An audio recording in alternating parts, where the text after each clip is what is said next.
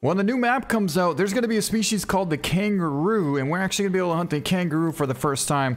I do believe it's going to be the gray, but what is that kangaroo going to be like when we hunt for it? Well, at this point, we really can't tell, but what we can do is we can head out to a certain map where I'm pretty sure we can find some.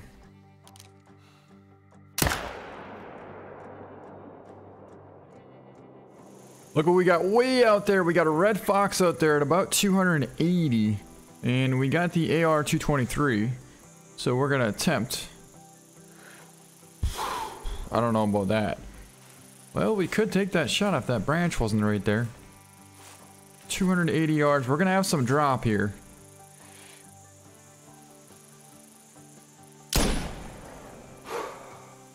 Maybe a little bit too high.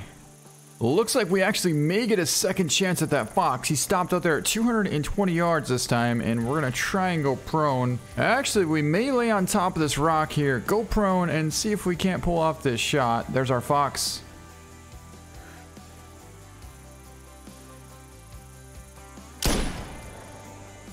Boy, that should have been a hit. I can't imagine it wouldn't have been. I mean, it seemed like it was 220 yards, and it was 220 yards, but yeah, he took off. So I'm not exactly sure why that shot wouldn't have connected. Well, that's because it did connect. It certainly did connect. In fact, he's laying right there. I don't know what we hit, but I'm kind of curious. Looks to be body blood, but then again, it says we didn't hit anything, but I find that very hard to believe. It was only a female, so luckily nothing too special, but I do feel like that should have been a good shot. Trying to see if we could find it. Okay, well, there's the, I believe, exit hole? Although I am not quite understanding that shot drop there. We were literally holding high center, which basically would have been, know, like right here somewhere. And we shouldn't have had any drop, but for some reason it looks like we got a ton of drop. Centered him pretty nicely, but dropped quite a bit. Well, it's not exactly a kangaroo, but we got our first feral hog out here at about 200 yards. I think the 6.5 should take him down quite nicely. But the angle that he's at there is going to be very difficult to pull off this shot. So I think we're going to have to hold off. Why does that look very patchy to me? I don't think it is. I think it's actually just because it's in the shade. But I could be wrong. That could be a piebald. And here he comes. Here he comes. Right there, right there, right there, right there. Alright, he is not a piebald, but he's a decent sized one. I believe he's a cream. And boy, is he on the move.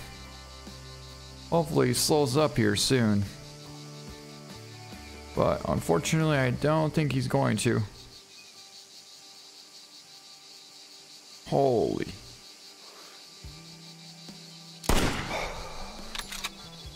I mean... That thing was absolutely hauling through there. How in the heck are we supposed to hit that thing? Oh my god. We hit him. We actually hit him. Now, I don't know how good, but it looks like already down to 60% on the second track there is looking pretty alright so far. But we gotta find some more blood. And more tracks. Alright, that is not looking so good. He already stopped bleeding on the third track.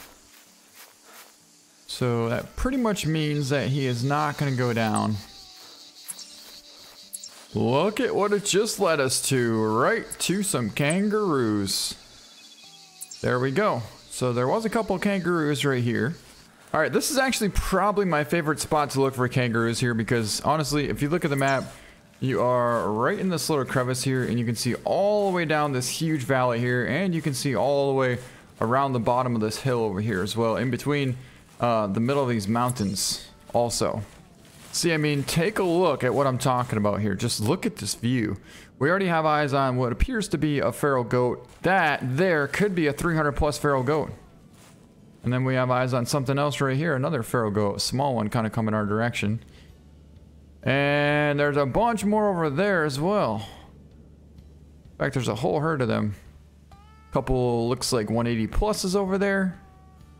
Decent ones. There's a big dark one in the back there. I can't quite get eyes on him. Looks like just a female. Okay, never mind. Um, but yeah, let's get ready on this one. Not that one, of course. This one. Right there, that one.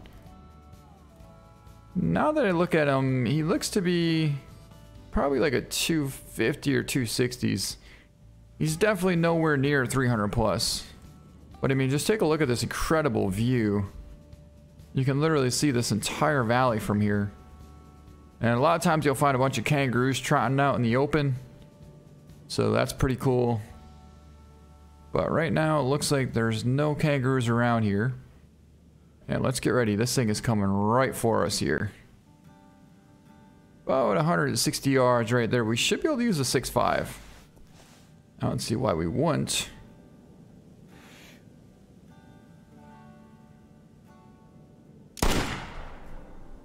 Smoked him. Dropped him right there. Beautiful.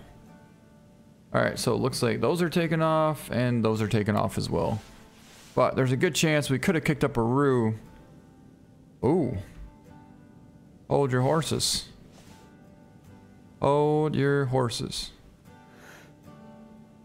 Oh, he's gone. That was a good one. That was another 180 plus potentially. Nonetheless, it looks like we have a pretty clean opening here. And no sign of any roos. So what we're going to do is we're going to mark this feral goat right here. Again, we're still not having any luck finding kangaroos, but we have a couple more feral goats out there. We do have tracks from them around here. But we just can't quite get lucky enough to get eyes on one.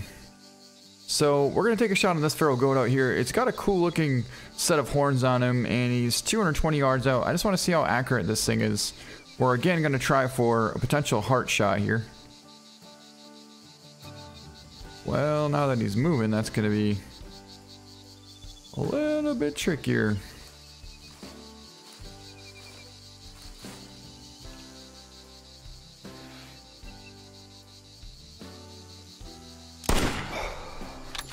Alright, so that shot actually hit, but it hit a little high. I saw that for a fact. Well, maybe not so much. Thing didn't go 20 yards and just piled up right there. Uh, yeah. I'm not exactly sure how that thing would have went down so quickly, but okay. We may have hit spine. But then again, I feel like spine would have dropped him. Alright, here's our nice sized feral goat that we got, and it should be a 250s. Ended up getting a lung, stomach, oh, only 160? Let's just take a look at this. How am I so far off on this estimate? Oh, okay, so he's not really, yeah, he's not wide enough. I mean, he's got potential, but he's just not quite wide enough. I mean, it's still a cool looking feral goat. That should be a roo. That should be a roo. Oh my god, it's a roo. It's a roo too. So a roo just called right on the backside of this mountain over here. Right tight on the edge. So we're going to try and stay on the very high end to look downwards. Hopefully he's not up here. Alright, we're getting pretty close, so we're going to go crouch right now and work our way over the top of this ridge here. He's got to be just on the backside. Although I don't know if we can really get high enough here anymore. Unless, can we actually climb up the, no freaking way. You guys realize we're climbing almost straight freaking vertical right now? Oh, I spoke a little too soon. Now we're starting to fall down. Oh my god, I hear he's right on top of us. He is right on top of us. Oh, he's right there. He's right there. Go prone, go prone, go prone. Dude, he's in range for a bow shot. Nice male Roo. I don't even have a bow on us at this point, to be honest, so... They walk so interesting, don't they? They almost walk like a, uh... Like half bat, half monkey or something. Perfect stop, perfect shot. We got ourselves a nice roo down. You really got to be patient and wait for them to stop at the right moment in order to get those vitals opened up to take that shot. Because uh, otherwise it could be super difficult. And look at all the roos taken off. Holy, look at them all. Yeah, at this point, there's no way in heck you can get a shot off on another one because they're just absolutely hauling out there. You know what I mean? They are absolutely just hauling. I do believe those are all female though.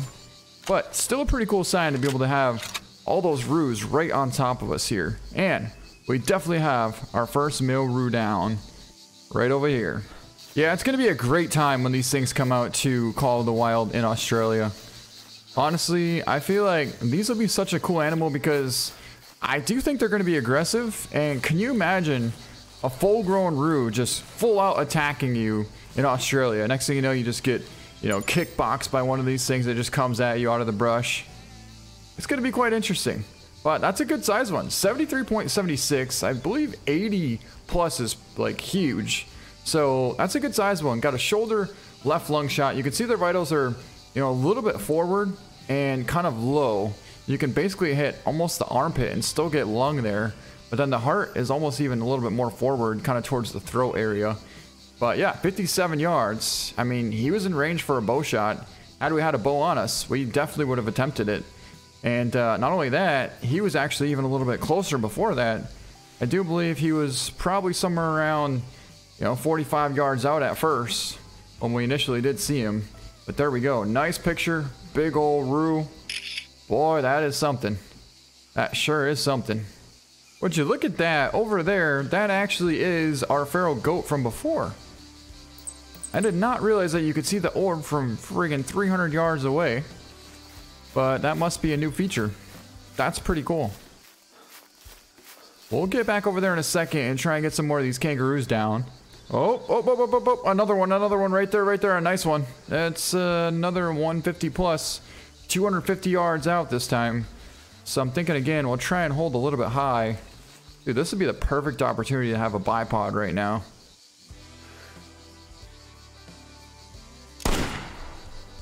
It did drop right in there perfectly.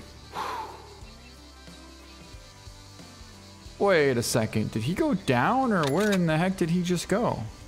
Because we should have seen him until he got to at least 340 or 350, I believe. Unless... Uh, 300 might be render, actually. Nonetheless, that shot looked absolutely perfect. It dropped right in there beautifully. Um, we're going to mark this spot since we can already see the orb from this one over here.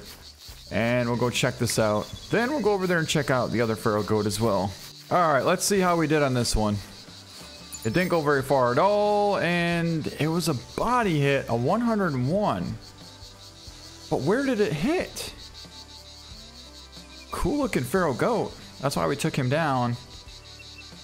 I thought we got him in the spine. This thing has a ton of thick fur on it. Look at that. Like you would literally have to pull each one of these hair patches out in order to find out where the hole is. So we're probably not going to be able to figure it out. But nonetheless, cool looking feral goat. He's got the kudu looking horns, which is awesome. All right, I do believe we made a great shot on this one. That appears to be definitely a vital hit. Wow. So it must have been the render. Yeah, that shot was absolutely beautiful. Look at that shot placement there. I'd say it was probably 290 yards. The shot was 254 yards, and we did get uh, about like six inches of drop there. But that took him down. Looks like lung and shoulder blade shot 163. So a lot of 160 plus feral goats here. Which, they're really decent ones. Really, really decent. You can see this guy doesn't have near as much fur as the last one did. But still a pretty cool looking feral goat. Alright, there we go. We just caught up to the rest of that herd of kangaroos, and we got one out there at about 260. In fact, there's quite a few out there at this point. One, two, and I think there should be three more out there as well. But let's see if we can't get ready and go for a 300 yard shot on this one. We do know that we got quite a bit of a drop here from this distance, but we also know that it is possible to make a pretty awesome shot.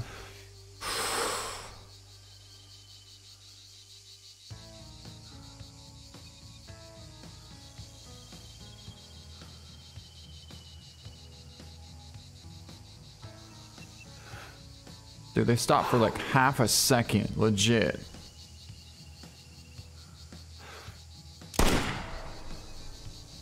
That should be a hit.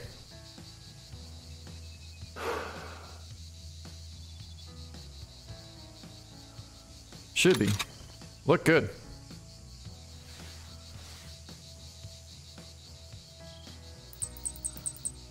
Well, let's get over there and go take a look. I mean, he was quartered almost directly away from us. We were holding for the neck, so we should have had at least 8 to 10 inches of drop. And even if we dropped too low, we would have gotten intestine because the angle that he was at. So, I'm feeling pretty promising about that shot. Well, we got blood. We definitely got blood, guys. That's a pretty good sign, if I do say so myself. More blood here. And more blood here. So that's four, maybe even five spots of blood there. And not only that, I do believe we got ourselves a roo down right over here. So our shot connected at almost 300 yards. And we took down this roo. There we go. I believe it's a female. All right, shot was 286 yards and nine minute wound time. So it's very difficult to get to tell where we actually hit, but I'm gonna check. It was quartered just like this. I would have thought we would have hit somewhere around here. Anywhere from here to here, but I'm not seeing any sign of where we hit, potentially. Nonetheless, we got ourselves another roo down. There we go. Big old female room. Now, in this case here, the females are pretty cool as well. Although they may they may not be quite as cool as the big males, but they're still pretty cool in the fact that they're very vicious and powerful as well. Alright guys, well that's going to be it for this video. I hope you guys enjoyed it. Let me know, are you excited to hunt for the kangaroo and what are you planning on hunting them with? I'm actually super excited to hunt for the kangaroo with the recurve bow, in all honesty. Thanks so much for watching and we'll see you next time.